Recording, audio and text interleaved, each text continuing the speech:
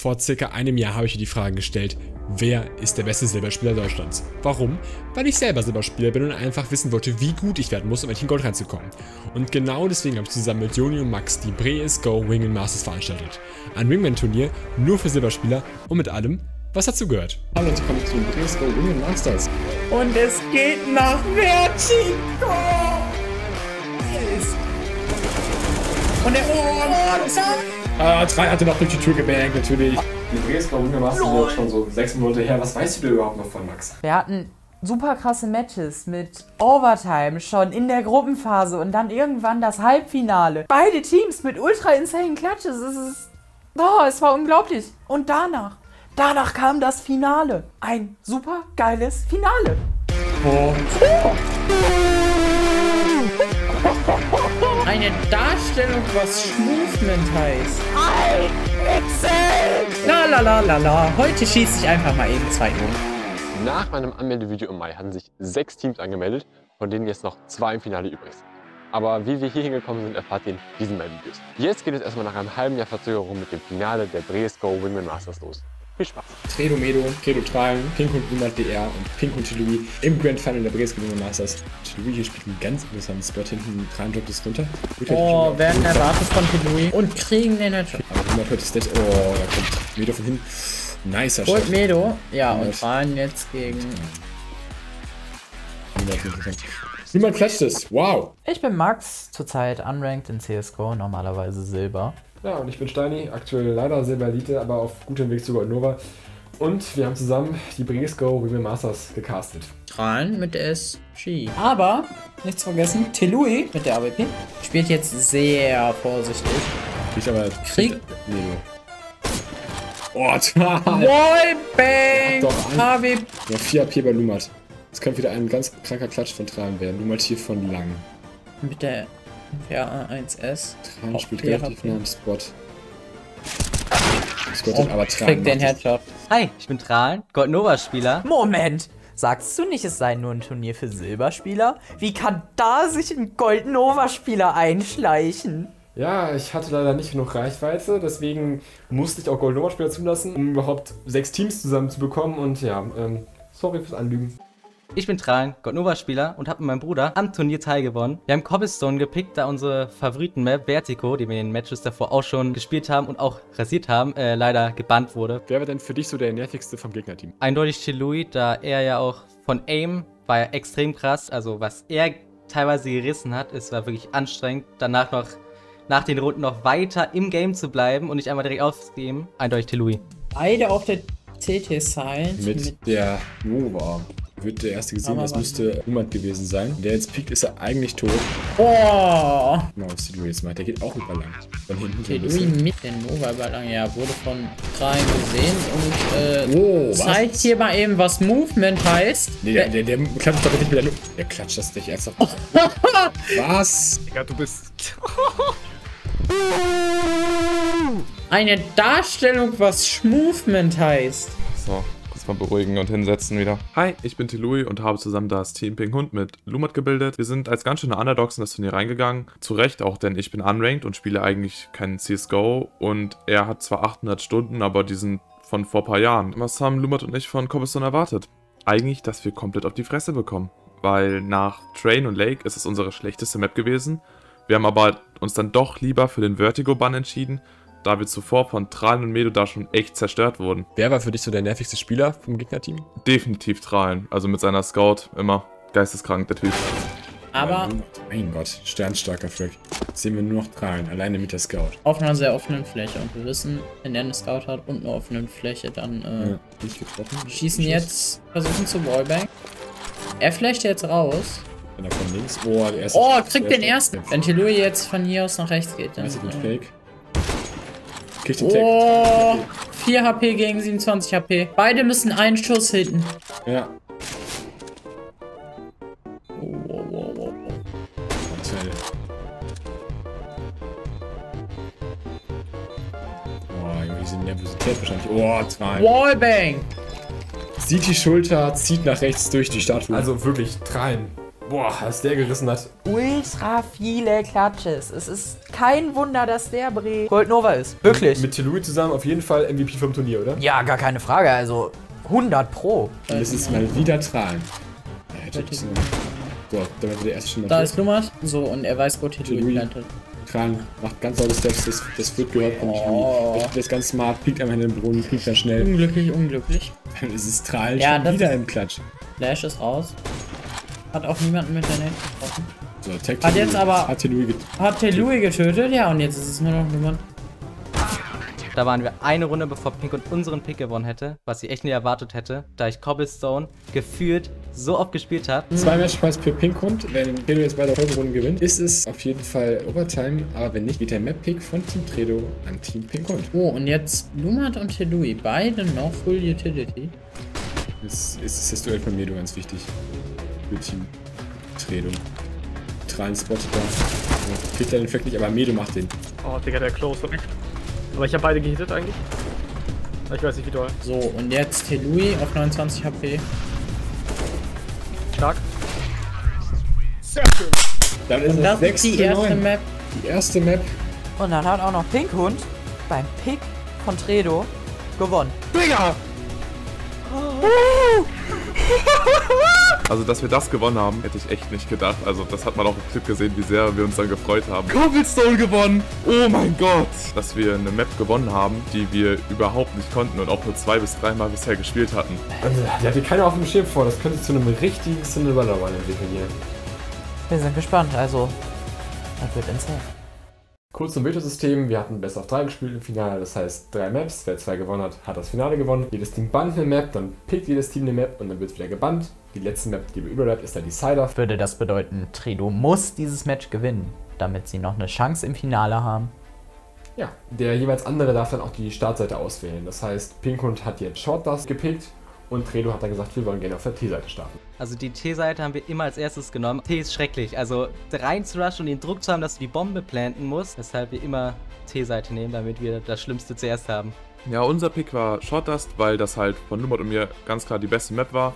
Wir haben halt am meisten auf dieser Map gespielt. Das ist Lumats Lieblingsmap. Deswegen habe ich mich da auch auf ihn verlassen, dass er da carried. Wir haben uns erhofft, dass wir den Sack dann direkt zumachen können. Schaut, das ist ja irgendwie so eine blöde Map. Da finde ich auch sehr CT-Side. Also du brauchst ja eigentlich nur in den Raum drinnen bleiben und einfach nur diese drei Tunnel da abaimen. Also Short Dust, bitte nicht nochmal. Wir sind live. Team Pinkhund gegen Team Tredo auf dem Pinkhunds Map. Team Pinkhund hat jetzt natürlich den Matchpoint der Map. Wenn sie die Map gewinnen, ihren einen Pick. Dann sind sie die Gewinner des ersten Bresco Wingman Masters. Hätte ich nicht mit gerechnet. Ja. So, was macht jetzt Trallen? Also er ist draußen alleine, hat nur eine Scout. Und. Quickscoped. Einen kann bekommen aber die Bombe legen. Das ist schon mal gut Geld. Plan- Ah, er faked. FK, Das. Plant ist könnte jetzt wahrscheinlich von außen kommen. Ja. Mit der Galil. Das ist natürlich ein krass, krasses. Äh Boah, er hat Oh, stark. Beide über Outside gegen Trahlen an der USP. Er kann da leider keinen Headshot setzen, aber. Bisschen in den Sand versetzt. Oh, was? Trallen? Das ist doch schon fast kriminell. Ein Selum 1 gegen 2. Ja, und Medo jetzt Nicht auf Oh. Medo. Und jetzt muss Trahlen wieder zur Tat streiten. Jetzt schon auf den One Million, ja. Oh, Das ist doch was für Max da. Max 7. Mensch, Trallen. Ja, ich konnte meinen Augen nicht trauen. Endlich die beste Waffe in CSGO. Die Max 7. Immer wieder underrated. So geil, um Economy zu machen. Endlich hat einer sie gekauft. Oh. Lumat legt die Bombe. Kran versucht da durch, mit der Max 7 durch, den, durch die Box zu bangen. Auf jeden Schwierig. Fall, äh, ja, nicht schwierig, ich sag mal ambitioniert. Push jetzt, kann jetzt die AK mitnehmen, wenn er will. Macht er nicht. Oh, kriegt den ersten. Kriegt den ersten, nimmt die AK. Rennt weiter, aber Okay, bei Lumat ist dann Ende. wenn sie jetzt diesen Punkt holen, dann Zwei äh, mehr Punkte für Team Tredo. und dann geht's in die dritte Map. Dann sehen wir ein letztes Mal Overpass, wenn ich mich recht entsinne, richtig? Dann sehen wir Overpass, richtig. Die Trallen ist in einer sehr, sehr nice Pose. Die haben sie noch nie vorher gespielt. Das heißt, die wird wahrscheinlich auch nicht Die wird auch erwartet. unerwartet kommen. Ja. Du macht jetzt geflasht. Aber Trallen ist von der Kiste runter. Warum denn sowas?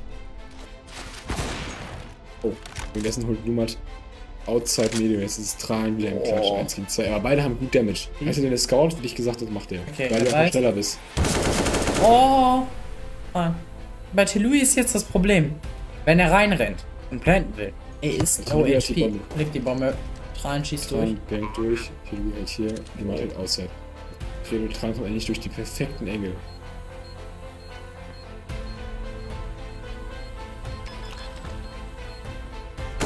Oh! Oh, Headshot! So, jetzt nur noch, nur noch Tilly. Nein! Oh, oh mein Gott, was zum Teufel. Oh, und der kann durchziehen. Oh mein Gott! Ja, dann hat Trelos geschafft, dann den Pick von Pinko zu holen für sich. Ist doof gelaufen, wir haben Short das leider verloren. Man muss natürlich erhoffen, dass wir da den Sack zumachen können. Wir waren so durch. Wir hatten sechs Stunden hinter uns. Sechs Stunden saßen wir hier vor und haben permanent geredet. Vor Overpass hatten wir dann wiederum Angst, weil das auch eine Sniper-Map mäßig ist, weil du echt gute Spots hast, mit der Scout oder der AWP wieder zu sitzen. Tralen hat ja bewiesen, mehrfach, dass er sehr gut mit der Scout ist.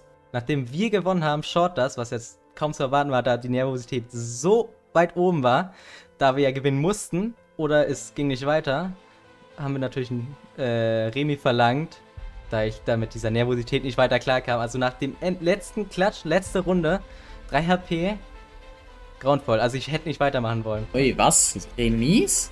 Also mir wäre schon lieber, wenn wir jetzt so hier so mit Vamp auch spielen. Das ist ja der Overpass, aber wenn, wenn die beiden keinen Bock mehr haben, oder wenn, wenn die alle d'accord damit sind, dass die unentschieden jetzt machen. Wow, ich spreche gleich zusammen. Ja, wenn er so viel klatschen muss, dann, äh, Ja. Wenn Tilo sagt, nein, wir spielen, dann spielen wir auch. Und dann geht es jetzt in die Night Round, in, auf den Decider des Finales. Ja. Der Bre-Istro Ring Masters 2022. Wir haben fast 9 Uhr, wir sind fast seit 7 Stunden am Stream. Oh, haben immer noch Bock. Ja, wir haben immer noch Bock. Auf wie geht's? Jetzt, In die letzte Map. wenn das jetzt dann auch noch eine Overtime ist. Alter. Das sehe ich Wir müssen nur casten, wir müssen nicht mehr spielen. Louis kriegt hier. Oh, mal angegeben. Und jetzt äh, Lumat. Lumat, Lumat, Lumat, wie auch immer. Tralen läuft da einfach durch und denkt sich, la la la la la, heute schieße ich einfach mal eben zwei um. Das Louis ist es aus der wichtige Rolle. Sch- Schießt mit der AWP. Ja. Schießt daneben. Und macht den zweiten Frag. Und jetzt hat Medo Idee. Kriegt den Headshot auf Lumat. So, und er weiß ganz genau, wo Medo. Telui ist. Verschießt, verschießt. Oh, verschießt. Sollte einfach Bombe legen eigentlich. Ja, eigentlich Bombe legen. Oh, es Aber- hat der, Oh! hat der, ja Junge. Aber das ist eigentlich ein geiler Spot. Glaubt er, er sei immer noch bei Monster? Er guckt Short nicht. Er guckt nicht Short. Oh, aber mir gibt ein Spray. Oh, Und damit ist es ja, die vierte Runde für Team Pink und Heilige Mutter Jesus Maria. Es sah gut für uns aus in der Halbzeit, 5-3 Führung. Jetzt mussten wir das nur noch in die T-Seite mit rübernehmen. Ist natürlich auf Overpass dann bisschen schwieriger, vor allem gegen so ein starkes Team wie Tredo. Wir gehen in die Pistol Round der zweiten Hälfte. Leicht entscheidend für den Ausgang dieses ganzen Turniers. oh ja, oh ja. Oh, sie boosten, aber sie gehen über Monster, ne? Ja, Nein, Monster. äh, einer geht nur über Monster. Oh, bekommt den One-Chip! Ähnliche HP. Pushen jetzt beide gleichzeitig. Ganz ekelhaft das Spot. Oh, Tilly. Bekommt den Headshot von Tilui. Mir gefällt es, ist Trans-Sache. Oh, Tilui. Das kann jetzt spannend werden. Die, der Engel ist echt ekelhaft. Checkt er, das ist die Frage. Ja, er checkt. Und das, boah, Oh, der Headshot. das tat schon weh. Was geht, hat, hat, hat ein Kit. Er hat ein Kit, ja. Er hat er gerade gesehen. Ja, es ist, ah, jetzt ist es auch zu spät. Ja. Aber ich denke, Tilui chippt noch von der Runde. Ja. Damit ist es die siebte Runde und wir Team Pinkwin braucht nur noch zwei Runden, um die Base Cup und Masters zu gewinnen. Ja. Jetzt geht es mit der Glock voran Vorwärts. und erwartet Milo und Tran. Und Tran versprayt ja absolut. Eieieiei, was macht der denn? Aber auch Medo. Schieß einfach durch, Junge. Und Hat den Hit bekommen. gucken, wer sich entscheidet. Halt, Er könnte durchziehen. könnte aktuell durchziehen, ja. Nicht mehr. Jetzt nicht mehr. Ja. Passt der hinter sich auf? Ich glaube fast nicht. Zieht durch. Das ist ein Fehler. Oh, auf Burst, auf Burst, auf Burst. Oh, Burst. Oh, das Timing. Eieiei. So, und jetzt muss er rennen. Muss. Jetzt muss er rennen. Reicht es? Das wird richtig knapp. Das wird verdammt knapp. Das sollte reichen. Oh. 7 zu 5. Alter Schwede. Wieder Monster wichtiger Klatsch, ey. Oh. In den nächsten drei Runden durften wir keinen einzigen Fehler machen, da sonst Pinkhund gewonnen hätte. Und selbst dann, wenn wir drei Runden hintereinander gewonnen hätten, wäre das Match immer noch nicht zu Ende, da wir dann in einer Overtime wären. Und er gibt Strahlen die AWP. Jetzt geht's richtig ab. Jetzt merken sie, oh, müssen wir ein bisschen ernst spielen. Medo hat eigentlich einen guten Engel. Eigentlich haben die ein perfektes Setup für genau diesen Push. Das ist halt spannend. Oh, jetzt muss Kommt ein klatschen. Jetzt muss Tran klatschen. Es geht ums Event. Oh! Ersten. Kriegt die AWP Ja, jetzt ist nur noch... Boah, kriegt und kriegt die. AK. Kriegt auch Lumat. Ganz stark. Stark. Wir haben das Scout Boah. bei Lumat und die AK bei Tui. Beide immerhin mit Vollrüstung. Oh, wie unlucky. Aber Oh, und er hat die Bombe. es ist nur noch Telu mit der AK über Short. Oh. Kriegt er aber auch. Gibt Strahlen die AWP in die Hand und ist. Monster-Performance, echt. Ja, wir haben drei Matchpoints verspielt. Äh, Team Tredo wollte dann auch einen Unentschieden haben, aber wir dachten, wir sind mental noch in einer besseren Verfassung und können das Ding noch nach Hause fahren. Und dann ging es wirklich in die Overtime. Cool, Das ne? ist- Ja, ich hab's gecallt, aber wer hätte damit rechnen können? Zum Glück hatten wir es in die Overtime geschafft, aber da wurde es ja erst richtig spannend. Beide verdienen Finale. Ja. Es ist ein sehr faires Finale, es ist ein sehr gutes Finale. Definitiv. Allein der Fakt, dass wir jetzt in die Sider eine Overtime haben, zeigt das ja schon, wie ebenbürtig sich beide Teams eigentlich sind. Nee, echt. Also wirklich, wir waren so durch. Wir haben direkt, also. Aber ja. Und Ja. was da dann noch kam, das war echt. Das hat uns dann noch mehr aus dem Leben genommen. Oh ja. Runde 1 der ersten Overtime. Ein Jumpspotted da. Hat, ja, aber nicht gesehen. Sehr, eigentlich hing es an Medo. Oh, aber genau der Molotow da rein. Und Strahlen hat den Headshot gefressen. Und jetzt beide, komm! Oh. Und damit ist es die erste Runde für Team Pinkund. Ach du Scheiße. Autotacker bei Lumat. Boah, Tran. Hm, Kriegt er auf den zweiten, kriegt er auch die Autotacke. Weil Autotacke auf City Side, letzte Runde wäre schon. Boah, wäre schön. Nein! Oh! Oh, Jetzt jetzt sehen wir die letzte und Runde der ersten Hälfte der ersten Overtime. Boah, Medo Melo, stark. Die Arme. Oh, oh, kein Weg. Wir sehen die M. die M249. Kevin, wo bist Kevin. du? M249, der geht garantiert in den Nahkampf auf Short. Ah, guck mal, aber da steht Kral. Und der kriegt den, und der kriegt den Frame. Und da steht Medo auch noch. Aber Me... Aber der ist durch. Medo hat er.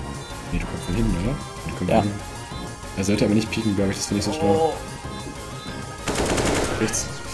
11 zu 9. Oh, was? Tredo hat zwei Matchpoints. Wenn sie unbedingt ein Remis wollen, können sie jetzt am besten noch gewinnen. Das Ding als Underdogs zu gewinnen wäre richtig heftig gewesen, aber in dem Moment dachten wir uns halt einfach, wieso sind wir nicht das Remis eingegangen? 11 zu 9. Mein Gott, was ein Decider. Was ein würdiges Finale. Scheißendreck. Und Lumat schon wieder mit der M2 genommen. Oh, beide Teams sind natürlich jetzt nervös. Für die einen heißt es nochmal vielleicht verlängern, für das andere der Sieg. Jetzt kommt eine hohe Flashbang. Louis wurde aber nicht gefunden. Rennen jetzt rein. Die M249 wird durchgehalten. Du hörst den ersten. Das ist Tralen. Tralen kann es closen. Und die A für den Klick. Versucht durchzugehen. Oh, Ein Scheiß, eine Pixel, Alter. Alter. Ja, und jetzt wird Trallen verrückt. Jetzt wird Trallen Der, einfach der, nur will, der will es einfach nur. Der will einfach nur, dass es vorbei ist. Er hat noch 60 Sekunden Zeit. Fängt einmal. Fake. Zieht jetzt aber durch. Geht durch. Oh, schafft er's. Tralen hat 6 HP, Alter.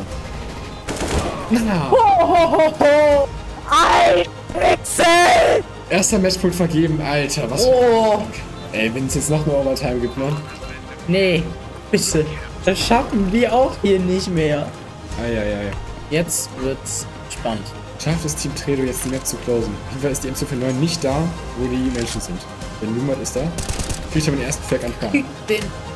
Das muss Medo closen. Oder es geht in die nächste Overtime. Boah. Kriegt den ersten. So, jetzt nur Krieg noch. den ersten, hat keinen Schaden genommen. Er kann jetzt auf Range spielen, Ja. aber Weiß er, dass das. Äh, er weiß es. Er weiß es. Ich weiß es nicht so wirklich.